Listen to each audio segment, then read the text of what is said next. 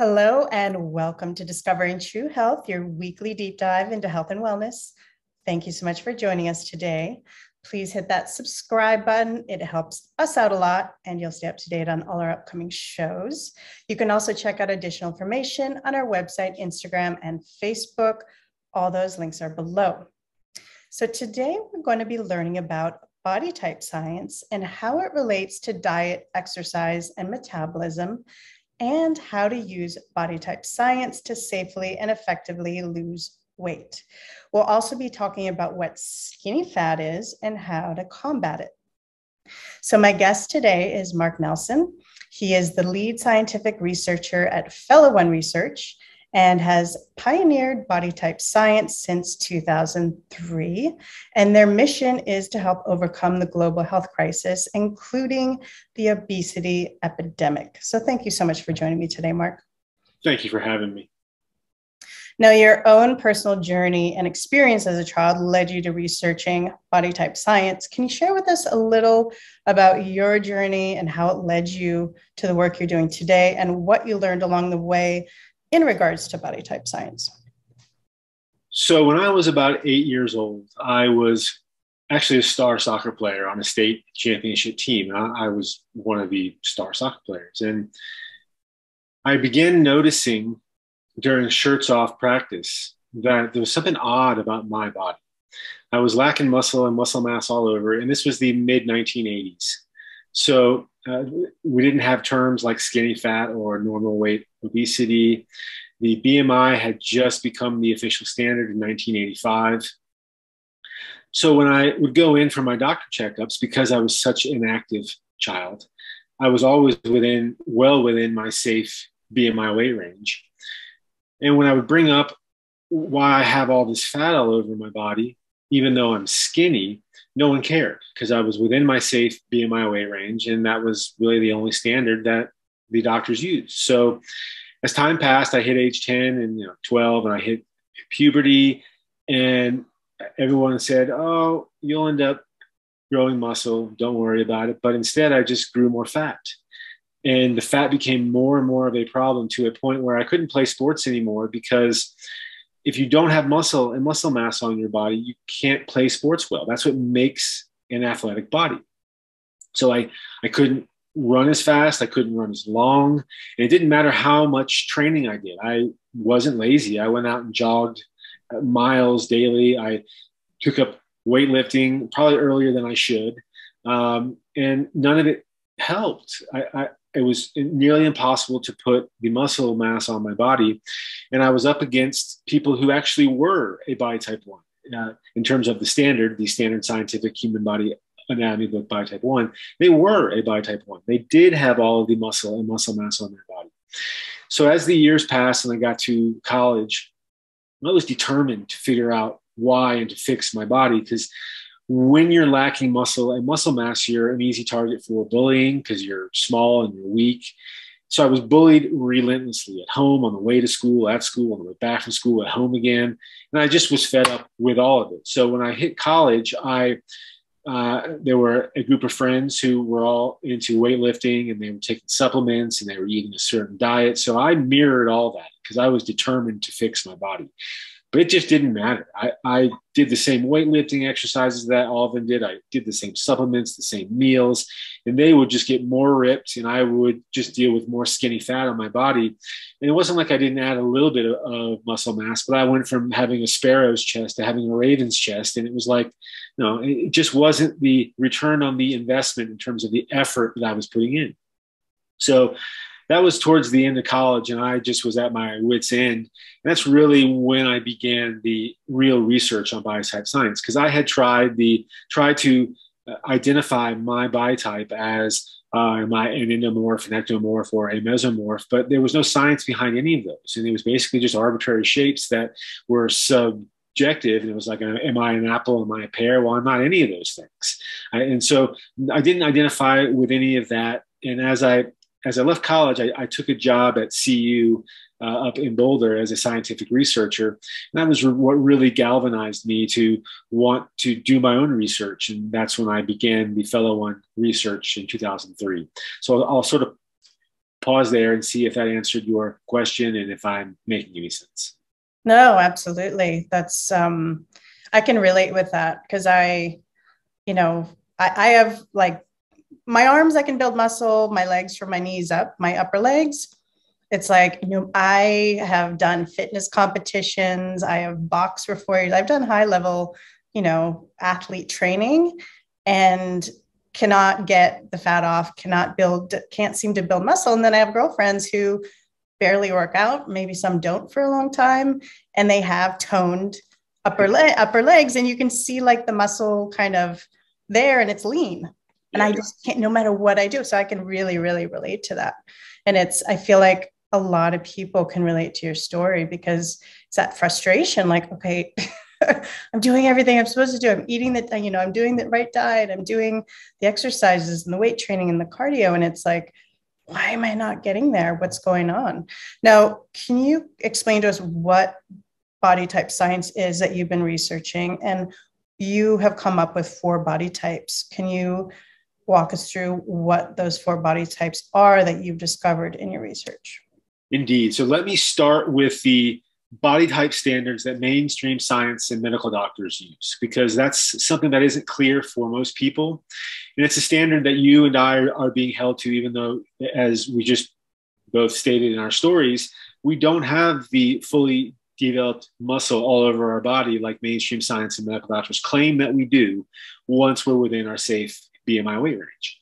So it's how mainstream science and medical doctors determine body type. There are three standards. The first standard is the scientific human body anatomy book, body type one, that you find in any scientifically approved human body anatomy book. And it's that image in your mind's eye that you see that is the human body with all the muscle and muscle mass fully developed front and back. And when you go and see your doctor, that's the image that you're being held to. That's the standard that you and 100% of every human being is being held to. Yet, as I just stated, and you just stated, I have never had all the muscle relative to that standard. And so that's that's the first standard. And the reason that it's not accurate is because it is a scientific fact that any part of the human body can be underdeveloped to whatever degree. Mm-hmm. So that's standard number one. Standard Number two is body mass index, BMI, which, as stated earlier, came into existence. Uh, it came into existence in the 1800s, but it became the standard in 1985.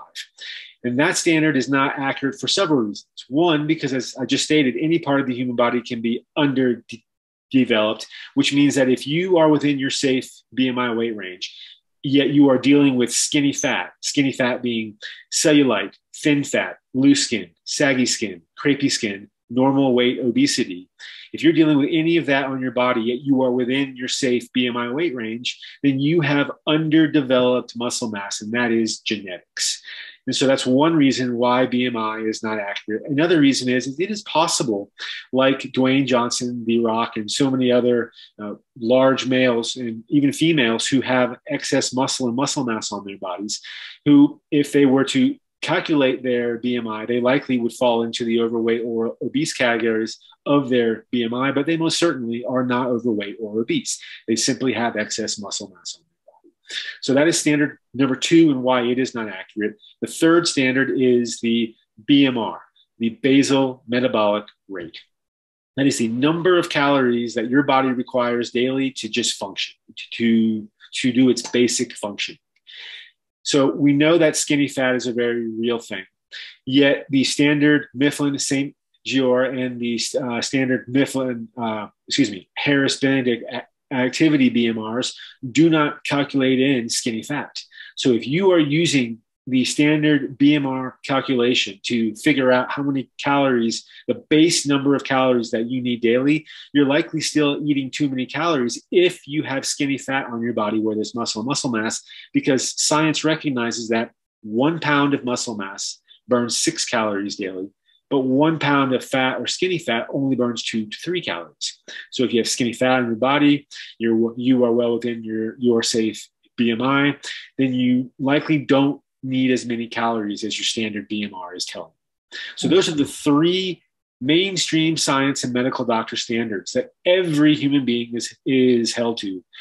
uh, and why they are not accurate. So I'll, I'll, sort of pause there and see if I've made sense. And then if I have, I'll move on to the four body types and how we came to those.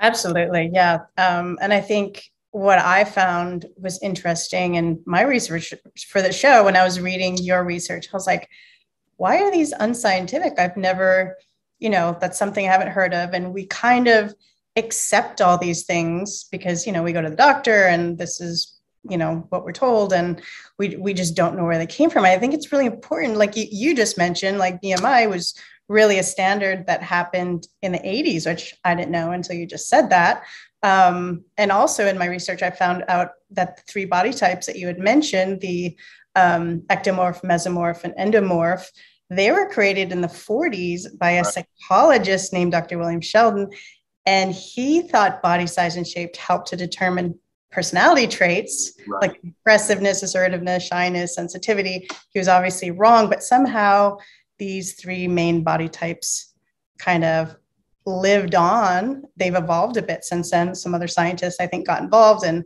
created, you know, a more specific assessment around them, but they're still pretty, like you said, they're um, they're not accurate. So. Anyhow, I thought that was interesting. But yeah, let's talk about your four body types that you've um, discovered in your research. So, one final thing on those three body types, they were most certainly debunked way back when, and they are not based on any science. But the thing is, is that we want, as human beings, we want to understand our body. And because there was no body type science prior to 2003, those were the only real standards. Now, there are other quote unquote biotypes like the Kibbe biotypes, uh, the hormone biotypes, the triangle biotypes, the 10 biotypes, and none of those are based on science either. It is true that hormones affect your body. So we're not arguing that point. They most certainly affect you know, weight loss and weight gain and such. But we have hundreds of quizzes up on our site now and we have and many of those quizzes are by type 2 3 and 4 people who have never been diagnosed with any hormone imbalance, are not dealing with a doctor diagnosed hormone imbalance, have never been diagnosed with any structural imbalance like scoliosis or, or, or the like. And so, if it were, if hormone biotypes were a real thing, then that then the individuals dealing with a hormone imbalance would have been diagnosed by their doctor. And that would help explain at least why they have a weight uh, fluctuation issue or it's hard for them to keep weight off. But it most certainly would not explain structural issues in the body because once the body is de- developed again according to mainstream science and medical doctors you are a biotype 1 all human beings are a biotype 1 so hormones wouldn't affect your structure they would simply affect how you put on weight and how that weight fluctuates over time. And even then, again, as already stated, so many of our scientific quiz participants have never been diagnosed with any hormone issues, yet they still deal with skinny fat all over their their their body. So that brings us to our four body types and how we came to it. So, as already stated, it is a scientific fact uh, that any part of the human body can be underdeveloped. It's also a scientific fact that every vertebra houses a specific set of muscles. So if any of those muscles relative to a specific vertebra are underdeveloped, that will directly affect your posture, along with your metabolism, including BMR.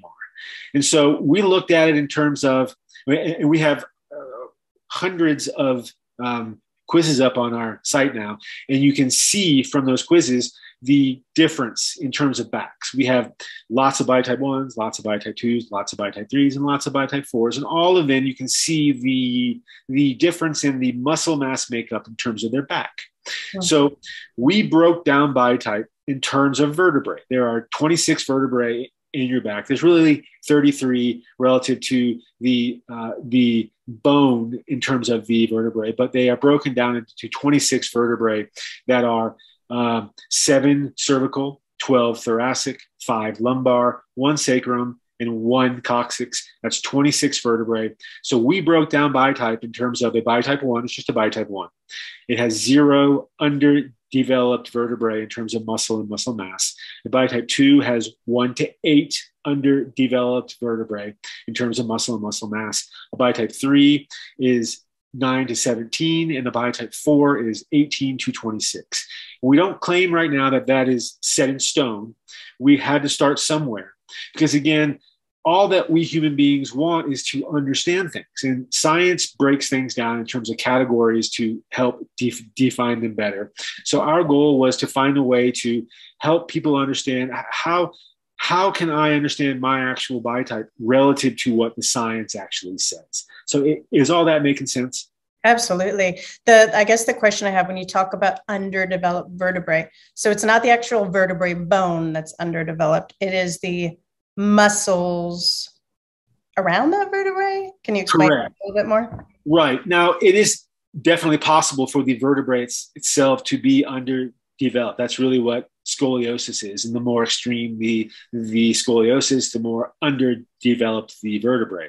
But, and so we really focus on both, but we, we have a tendency to focus more on the muscle and, and, and the actual muscle mass because where you have under developed muscle and muscle mass, that's where, in place of that, is skinny fat.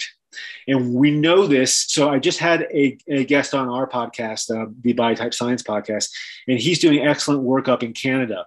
And he's working with school age children and they are they have a, a set of tests scientific tests that can calculate out what the load is for each student in terms of their muscle and muscle mass, what they're capable of doing in terms of uh, resistance exercise. So pull ups and push ups and the, and the like, which they can then calculate out the amount of muscle and muscle mass, which then they can equate to specific exercises in terms of intensity and duration and such.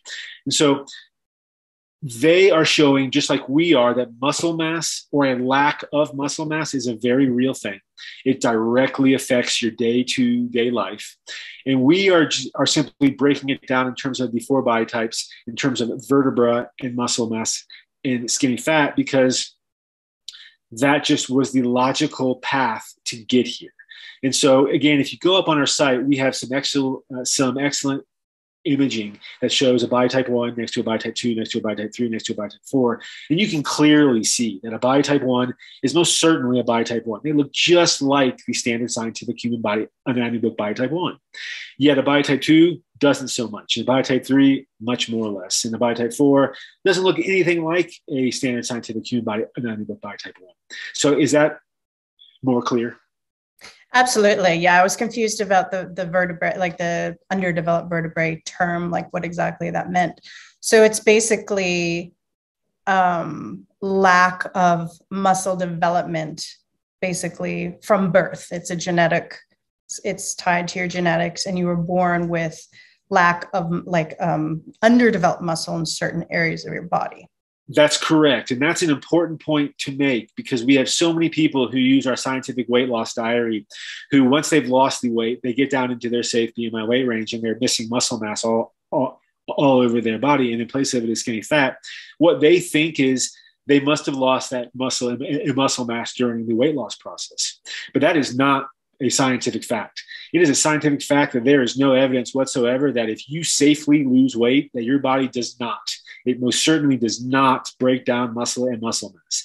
Now, if you're starving your body, if you are not losing weight safely, then your body will break down muscle and muscle mass because you're starving it and it has to survive. It has to find calories somewhere.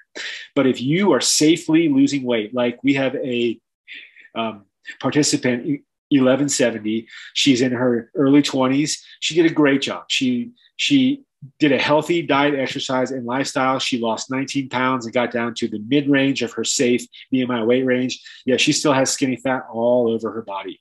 And when she started, she thought that once she got down into her safe BMI weight range, that she would look just like the standard scientific human body anatomy book by type 1, because that's what her doctor told her.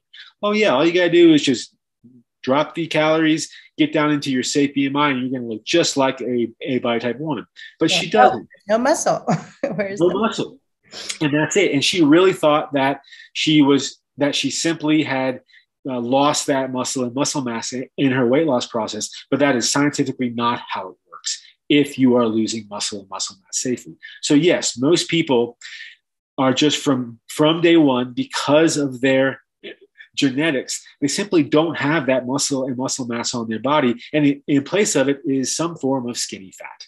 Right. Now, for those who are not born with the standard body type one, with all the developed muscle, in what ways does that affect their life oh, physiologically and all the other ways? So let's just start with something like sports, right. um, because it's something that most people can genuinely relate to. So if you are someone like me who I love soccer. I would I, I, would still be playing soccer had I had the muscle mass to actually play it. But I use the uh, analogy that if you think of somebody like David Beckham, he's a body type one. He was a star soccer player because he was a body type one and because he had actual skill and talent as well. Because there are plenty of body type one folks out there who just don't have the skill and talent and they'll never be a star soccer player.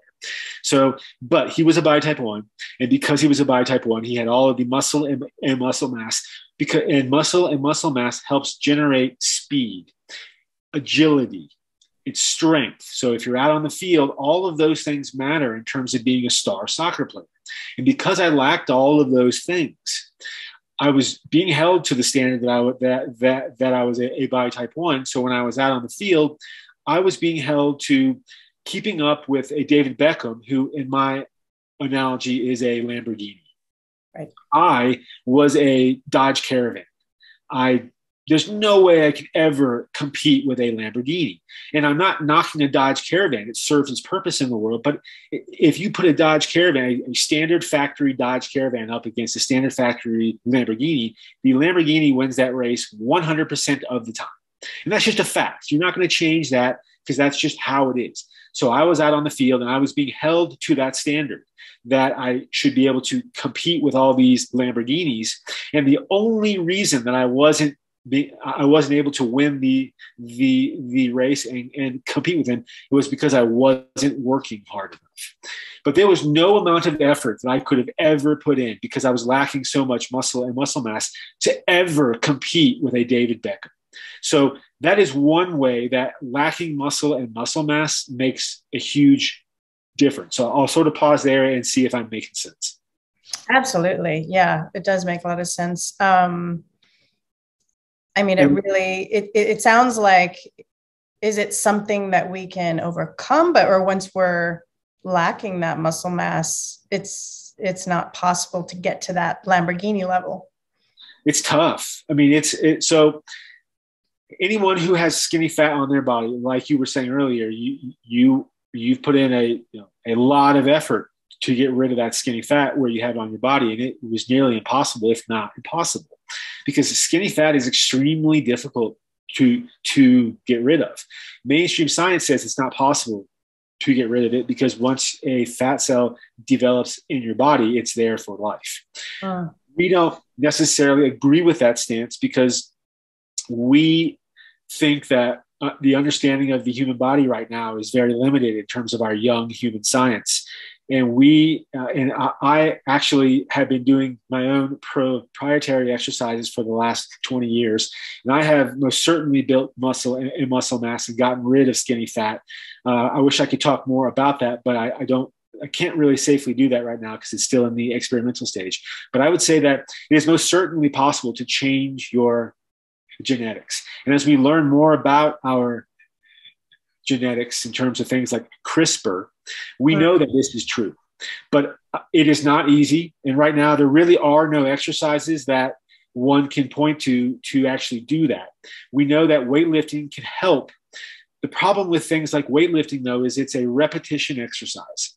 So, what happens when you do the repetition exercise and you build muscle and, and then you stop doing those repetition exercises. That muscle goes away. Right. And that's how it works. Yeah. Right. So so what what we are doing is we're working with gravity because gravity is the, is the actual weight that's pushing down on your body every second of every day that your body is working against to help maintain muscle and muscle mass. Wow. We know that that is a fact because when an astronaut goes into space, they have to work extra hard to do cardio and resistance exercise to maintain their muscle mass, their bone mass, their teeth mass. And when they come back to Earth, even when they do all of that exercise in space, they likely still have lost muscle and muscle mass and bone mass, and they have to do extra work when they come back. So that's how we know that gravity is the best weight to actually work against. So really, it's exercises like yoga, because yoga is really about doing a form of calisthenics with a form of isometrics where you're using gravity and you're actually holding the body against gravity. So if you can learn how to do yoga first and get to know your spine well, and even incorporate weightlifting relative to yoga, and then translate that to an, an an upright state where you're working on your posture. And if somebody says stop slouching, you'll pull your shoulders back and you'll hold it. Well, it's really no no different in terms of yoga, only you're doing it in a standing up process so that you're using gravity against your body. And as you build that muscle relative to gravity, unlike weightlifting, where you're doing the repetition exercises, you now have gravity that is pushing against your body, and those muscles will more likely stay with you for the rest of your life because it's gravity that is pushing down, and your body has to work against that gravity. So, am I making sense? So, it's a combination of, you know, really getting your back working working the muscles in your back and getting those your spine and your back stabilized um, along with everything else because if yeah. you're not doing the back and you're not you know building those muscles and getting those muscles that are weakened or, or missing where the vertebrae are it doesn't matter how many squats you do. And, and you could likely put on muscle mass relative to squats. But so i had a I, I had a roommate in, in, college who was a weightlifting freak, and he was determined to look like Brad Pitt. Hmm. The only problem was was he was missing muscle mass from likely his lower thoracic down to his sacrum. And so when he would do his weightlifting, which he did religiously, he definitely put on muscle, but it was anywhere where he really already had muscle mass. So his body became more uh, asymmetrical, and he would put on muscle where he already had muscle, but where he was lacking muscle mass, he had a really hard time putting on muscle mass. So as he put on more a more weight, he actually looked more like a ball of muscle, literally a ball of muscle, instead of like Brad Pitt, because he wasn't putting on that actual muscle mass relative to where he was lacking it. And so that's really the issue with a standard weightlifting routine, whether you're doing squats or whatever, is you will have tendencies, strong tendencies to put on muscle mass where you already have muscle because those muscles will take over for any area of your body that may be lacking muscle and muscle mass. And you will have a tendency to put on muscle where you already have it and less of a tendency where you have skinny fat. And you likely know that because, again, you, you have the areas on your body where no matter what you did, you, you couldn't seem to put on muscle where you had skinny fat, but you didn't have any issues putting on muscle where you already have it. I have the same issue on my body. Right. And I think where I really noticed it in my life was I, I had, like I said, I've been training like an athlete my entire life. I started very young in my 20s. I did fitness competitions. I was a boxer. I almost went amateur. I, you know, trained hard in the gym, you know, four or five days a week through that. And then at one point recently, a couple years ago, I got an ankle injury and I was out, literally out for about eight months to a year. I was still trying to do some workout. I didn't change my diet. I was still doing like arm cardio and stuff like that. But my legs just, I mean, the fat that suddenly appeared on my body, like, I was like, I was so mad because I was like, I have worked out so hard my entire life. How is it in like less than a year? My upper legs and my lower stomach is just like completely ballooned out um, in that short period of time when I've put in that amount of time training those muscles and building those muscles. It really blew my mind and it was really frustrating and confusing. And so when you went to your doctor, did you ask them why you were so easily putting on fat where you should have muscle? And uh, were you within your safe BMI weight range? What did they say? Because again, according to mainstream science and medical doctors, once you're within your safe BMI weight range, you look identical to a to a body type one. Yet right. when I go in and I ask them about why, they have no answer for me.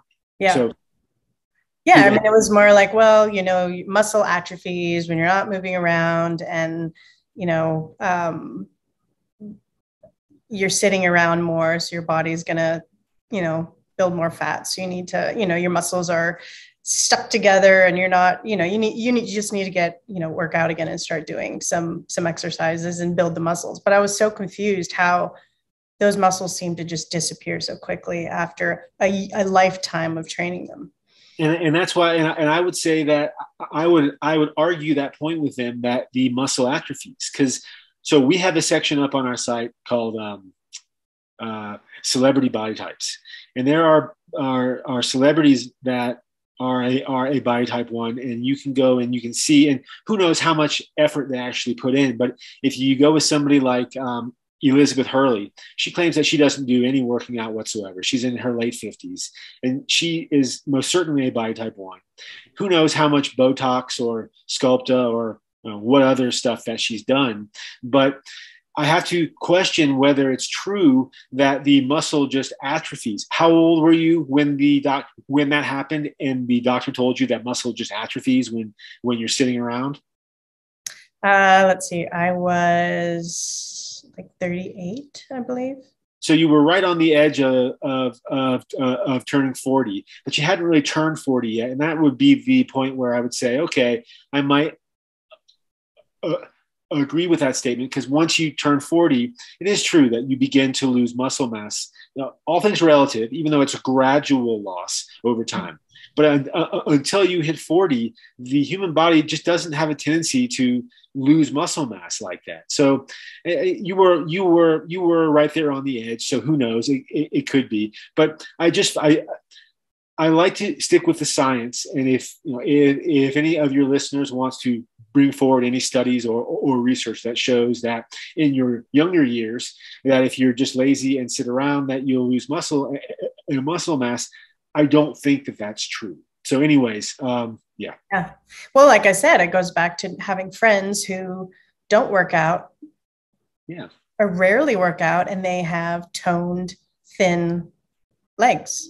There you go.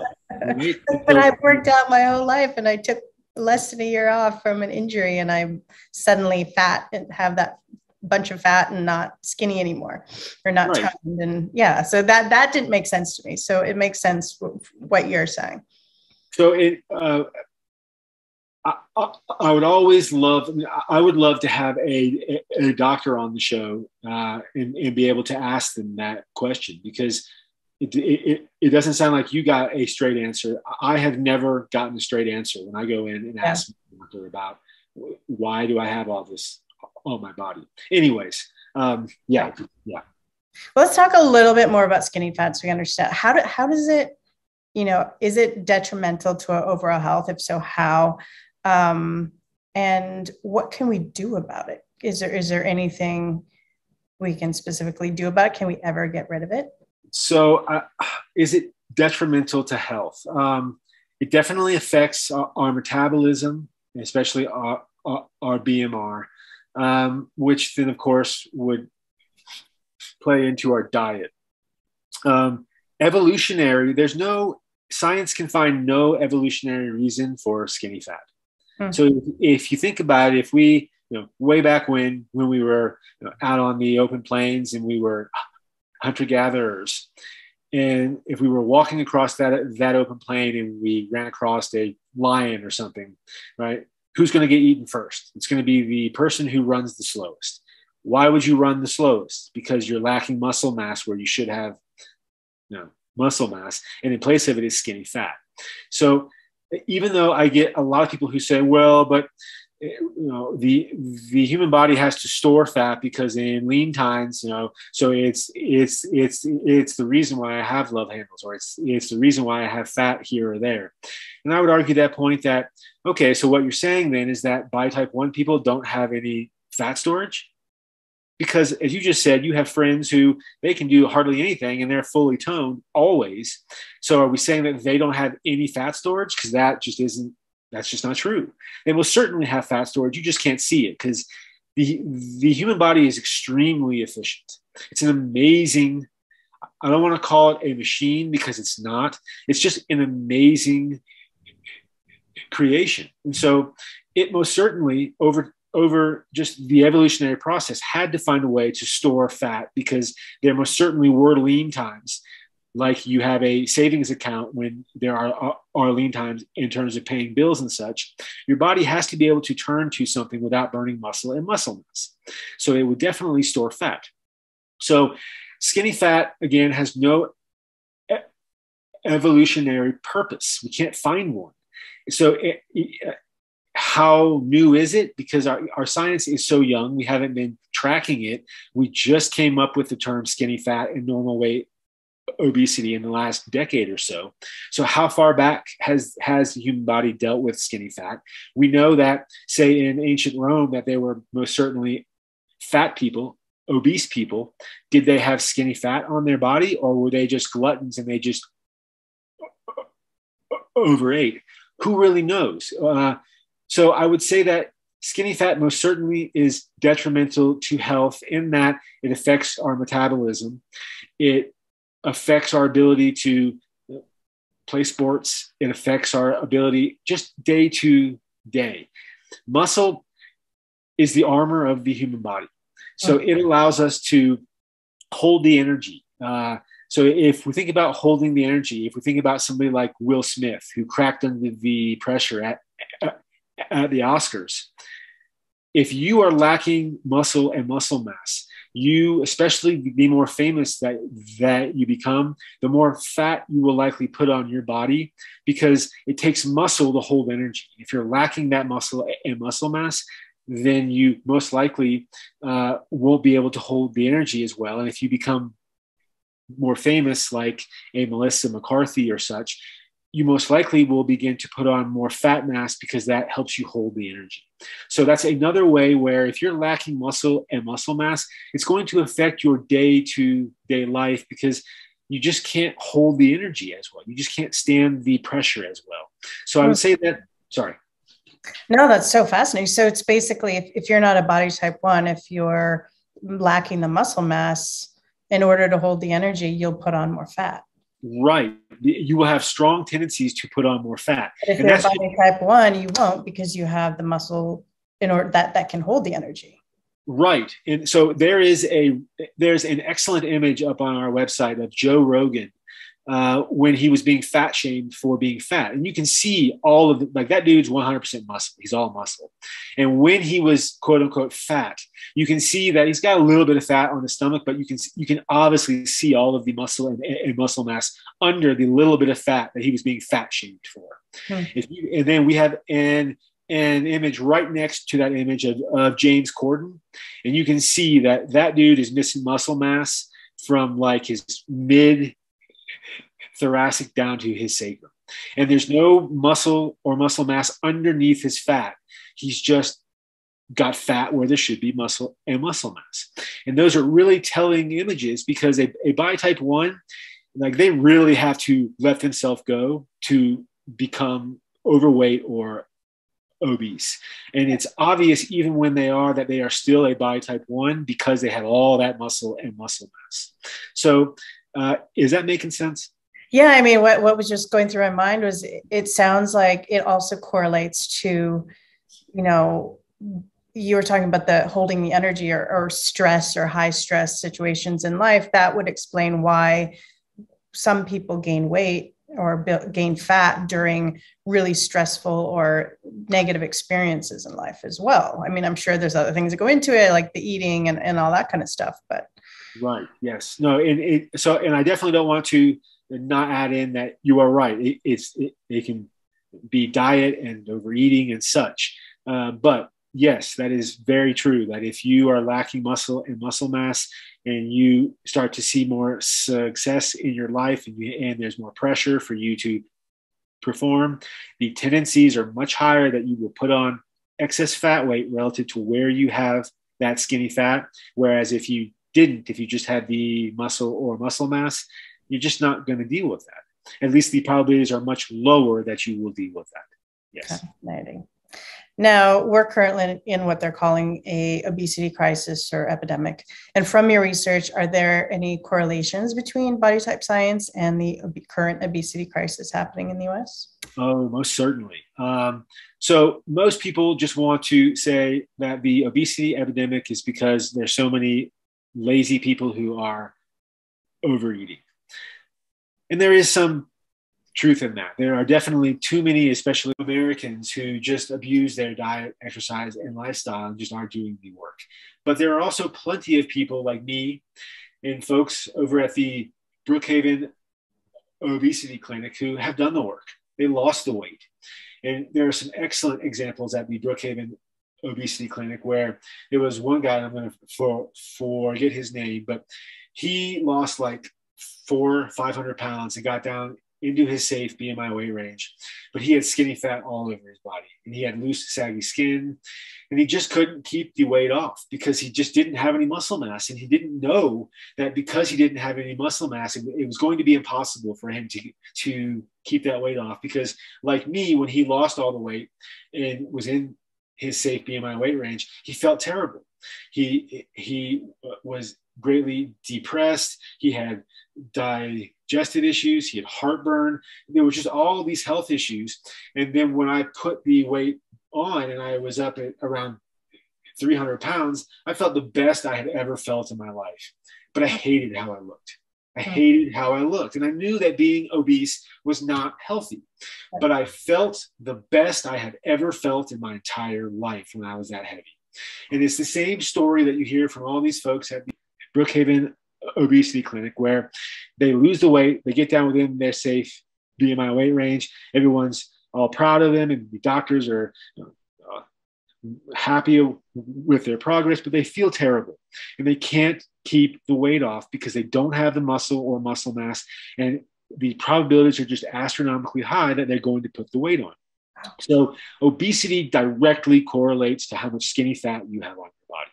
Yeah. And eh, you can definitely do the work, do the exercise, do find a proper diet, and keep that weight off. But it's a lot of work. It's a lot of effort. And like you said, you have these friends who they don't have to do anything, and they look great in a uh, in a swimsuit out on the beach. Yet there are folks like you and I who we work our butt off, and it's like I, I don't feel comfortable going out on the beach, I, especially when I'm next to somebody who looks so great. So you have a direct correlation to skinny fat and obesity that needs to be looked at and addressed so that we can help people understand your body type most certainly matters. So does your diet, so does your exercise, so does your lifestyle. But you can do all those things perfectly. Find the perfect diet for you where you're eating the right amount of calories daily relative to your uh, to your um, BMR. And we have a uh, we have our own calculations relative to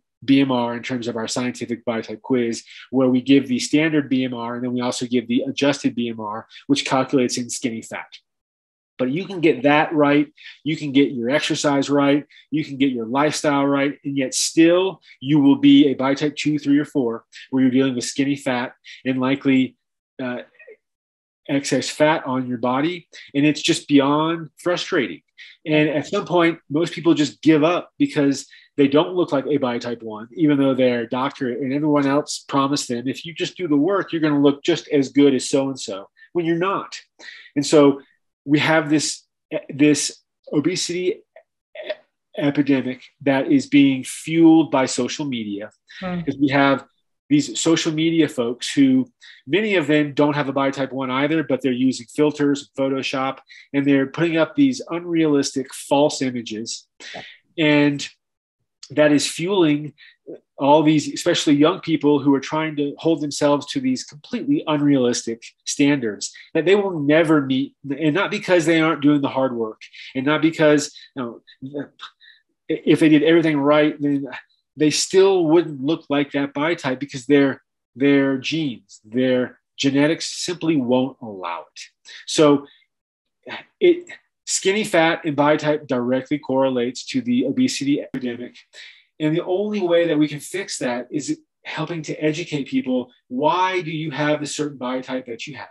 It's genetics, accepting your body type for what it is, and then finding the right diet, exercise, and, and, lifestyle to maintain your specific body type so that you can come to terms with it, you can be happy with it as it is. And then maybe once you have done all those things and you have genuinely accepted your body for what it is, then you can look at some, uh, maybe some of our cutting edge exercises to you know, work on making your body type better and getting more like a body type one. But first, it's got to start with accepting and understanding your body for what it is relative to your genes, and then finding the right diet, exercise, and lifestyle. And that is how we overcome the obesity epidemic and the general health crisis globally that we're dealing.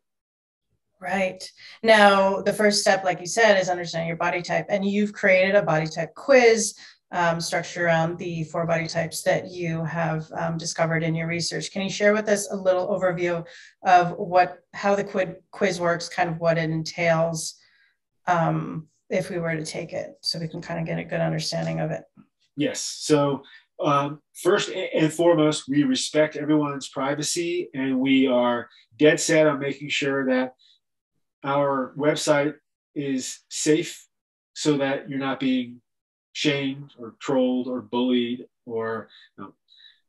so we allow for a pen name and we also don't do any face in terms of, uh, of the images and um, so so we can maintain your privacy um, that being said what we're looking at is we do science science-based calculations in terms of diet exercise and lifestyle so we've taken the latest science uh, that's always evolving. Uh, there's a few tweaks that we need to make. Like we currently still ask how many glasses of alcohol do you drink? Is it the two day standard for men, one day standard for women? The new science shows that it's really a one glass a day standard for men and a half glass for women.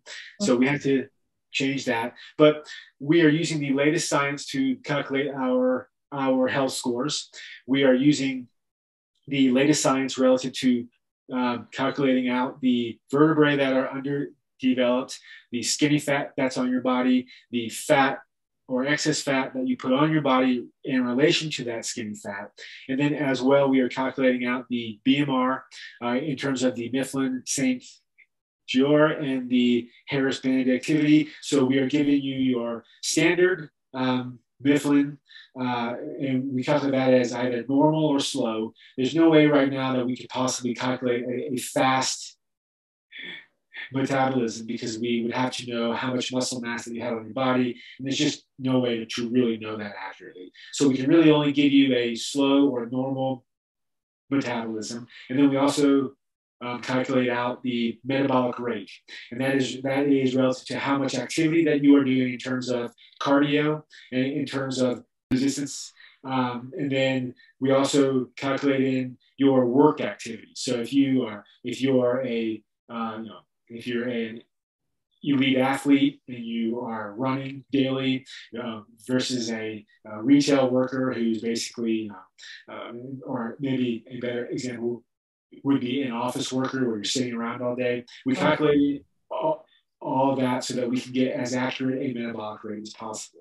And we and we break all that down so that you can see it clearly on your quiz profile, uh, so that you can get a better sense of your diet, exercise, and lifestyle in terms of your vertebrae and skinny fat and excess fat on your body, so that then we come to your actual uh, body type identification, uh, and that's a general overview of how we do it. Beautiful. And once we take the quiz and find out what our body type is, how do we utilize this information?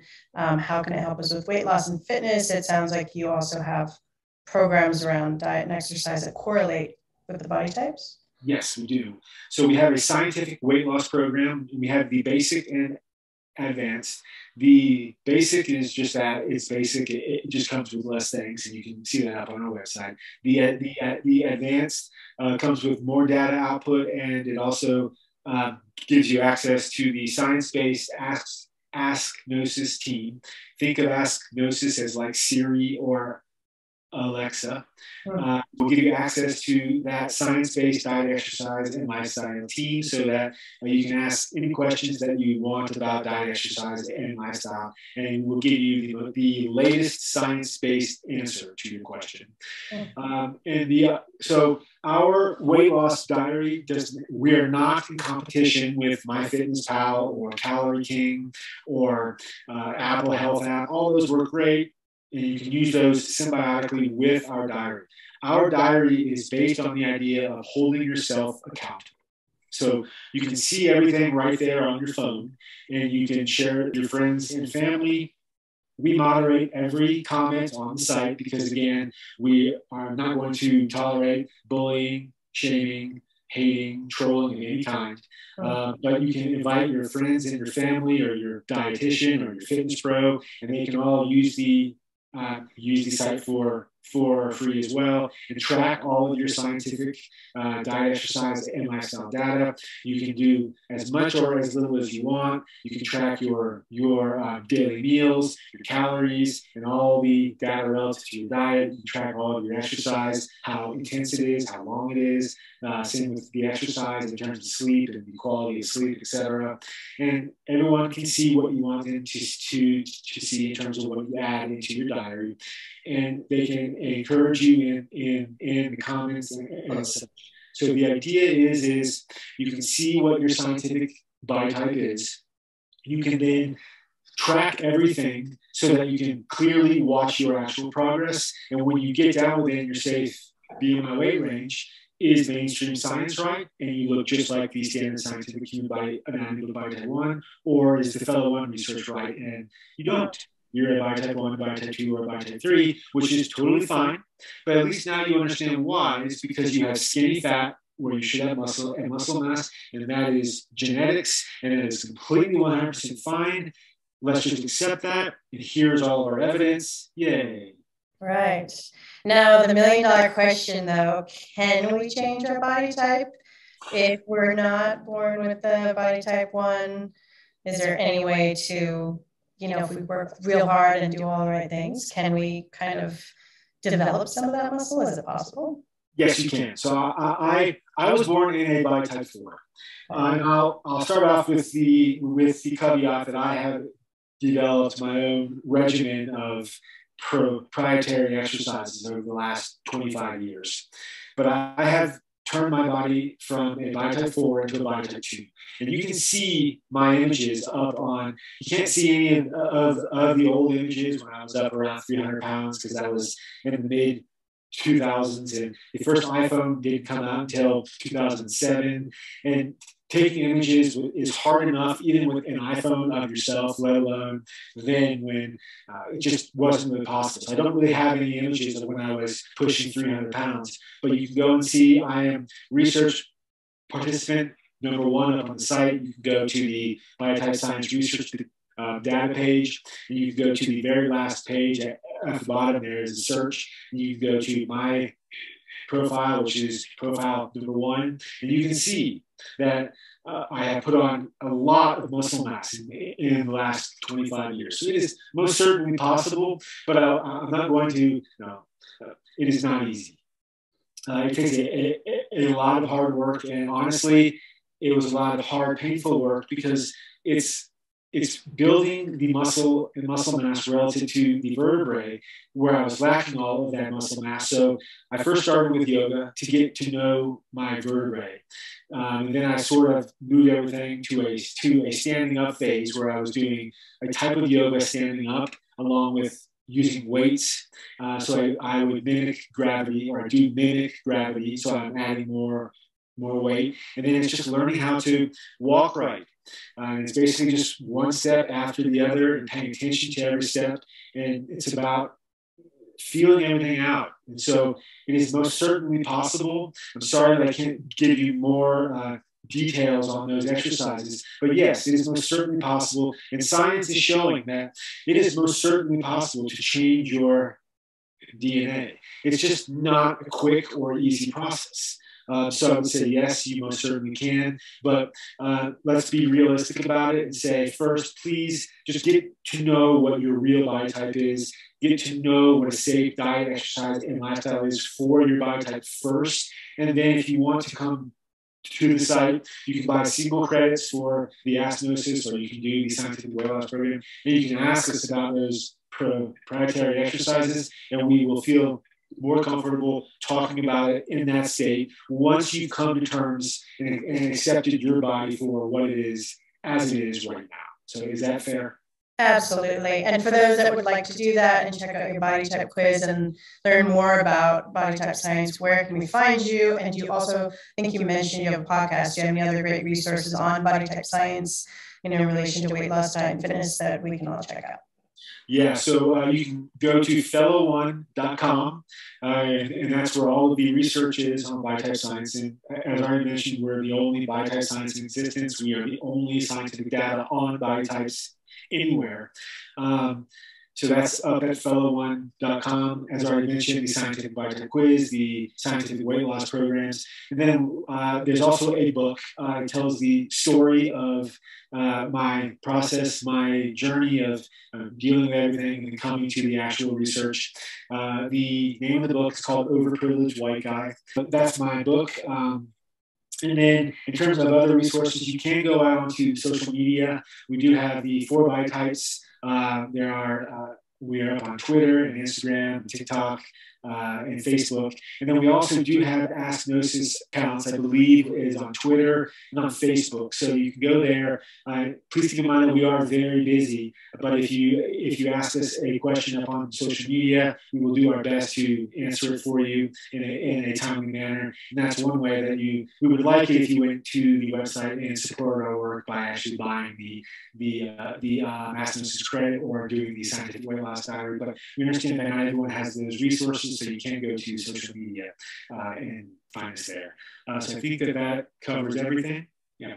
Beautiful. Well, I'll post a link to all those below, your book, your social media, website, etc. Before we wrap up the show, do you have any final thoughts around the importance of body type science for those out there who may be struggling with weight loss, building muscle, or just wanting to feel and look more fit and toned? Yeah, I would simply say uh, it's really about coming to terms and accepting your your body for what it is. Uh, social media is such a, a two-edged sword because uh, we use it for obvious reasons. It is a good way of getting out there and talking with people and educating them, but be very careful about the, the, the body images that you see up there. Be very careful about any diet or exercise or lifestyle, especially weight loss nonsense. Mm-hmm. All of them are fads and gimmicks and just total unscientific nonsense that will only damage your, your, your body. There are no quick fixes when it comes to weight loss. There are no pills no matter what anyone tells you or tries to, to sell you, there's no such thing as a quick fix when it comes to weight loss. It's first about really following the science and recognizing that a calorie is not a calorie. That is old weight loss science. A calorie is not a calorie. Science is clear on that now. That if you eat a McDonald's French fry, it is most certainly not the same thing as eating a, a piece of broccoli. Yes, a, a French fry is a lot tastier, but they are not the same thing in terms of nutrients. So be careful about what you eat and what you put into your body in general. Eat whole foods over processed junk or fast foods but do it in moderation. We don't want to tell folks that you can't eat fast or junk food. Every now and then I'll go out and have a Wendy's burger or something like that because that's life and you got to live, right? But food quality matters. And uh, the, the, uh, the, uh, Glycemic index matters. That is essentially based on carbs. So you want to stick to a lower glycemic index so that you're not spiking your blood sugar. Uh, and, and, all this is up on our site. Uh, but eat quality, healthy foods. Recognize that a calorie is not a calorie. Don't follow that method. It doesn't work. Uh, and essentially respect your body and realize that there is there's no quick fix to weight loss choose a healthy diet, exercise, lifestyle so that you can be healthy and sustainable for the long term. Mm, such important information. Well, thank you so much for joining me today and sharing your research and the importance of type science. I learned so much. I thought I knew a lot, but this was so fascinating and to really learn about, you know, the history of the main what we're told in mainstream to, you know, the science you're doing. It's it's absolutely, you know, so important um, and really eye-opening and helpful. So thank you so much for all the work that you're doing. Thank you for having me. I really appreciate being here. Remember, knowledge is power. The more you understand about your body, the better you're able to stay healthy and prevent disease. And a reminder, I'm not your doctor, so please don't take this as medical advice. If you have specific questions about your healthcare, feel free to reach out to your practitioner. And if you like this video, please like it and share with others. This information could really help someone you may know. And please hit that subscribe button to stay up to date on all our future shows. And join us next Wednesday for the next episode of Discovering True Health.